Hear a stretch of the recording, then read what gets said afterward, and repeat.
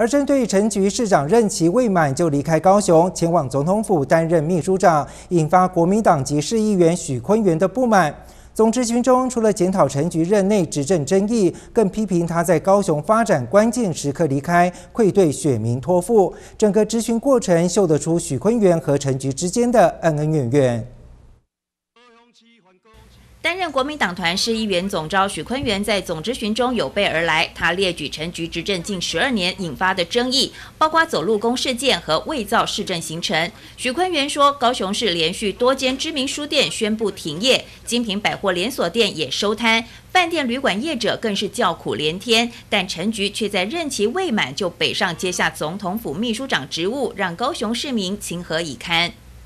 这个时阵，陈局选择离开。离开高雄市，他说战士没有选择战场的权利。高雄市民是安尼疼惜你，安安尼照顾你，一再选择原谅你。许坤元进一步指出，包括魏武营艺术中心的预算和世贸展览中心的经费等多项重大建设，都是中央政府全额补助，实在无法理解市府的债台高筑是从何而来。老式的马英九。拢全补助百分之百、百分之百、百分之百。我记咧两三位了时间的关系。好，谢谢议长，谢谢徐议员。呃，一百零三亿。一百空三亿啦，吼。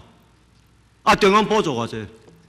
呃，这是中央家己的建设，所以中央。中央补助一百对无？吼。那是中央家己的建设对。啊，中央建设毋是要公用的？呃，是。请坐了。是。另外，许坤元也呼吁国民党要团结合作，争取更多选民的支持，别让一党独大、人民辛苦的事件重演。